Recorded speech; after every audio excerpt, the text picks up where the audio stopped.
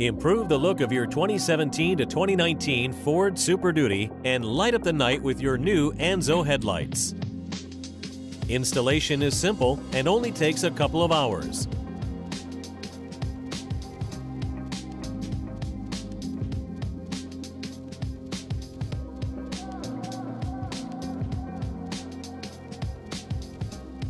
These are the tools you'll need to install your Anzo headlights.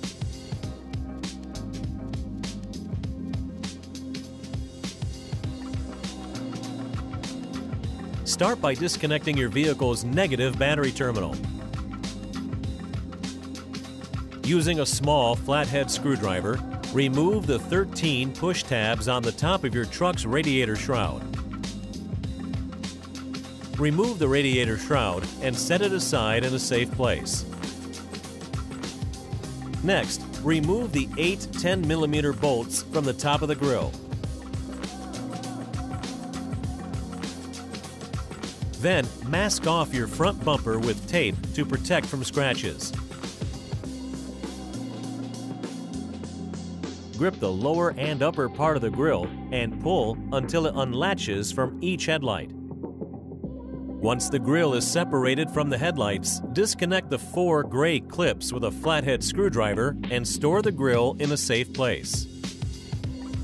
Now remove the two 10 millimeter bolts on the front of the headlight.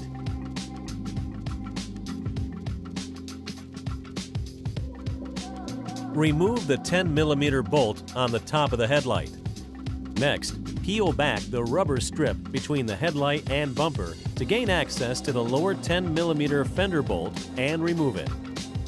Push down on the factory headlight and remove it from the top.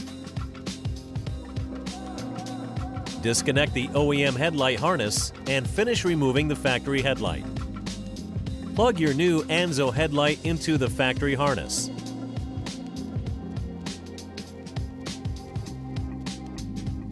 Holding the harness to the side, install the new headlight and secure it with the four 10mm bolts removed from the factory headlight. Repeat these steps for both sides and reinstall the factory parts following the previous instructions in reverse.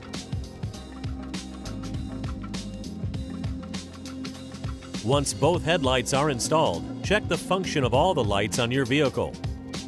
Before driving your car on the road, aim your new Anzo headlights using your factory manual or watch our Aiming Your Anzo Headlights video. Don't get left in the dark. Visit AnzoUSA.com to see all of our performance lighting products for your vehicle.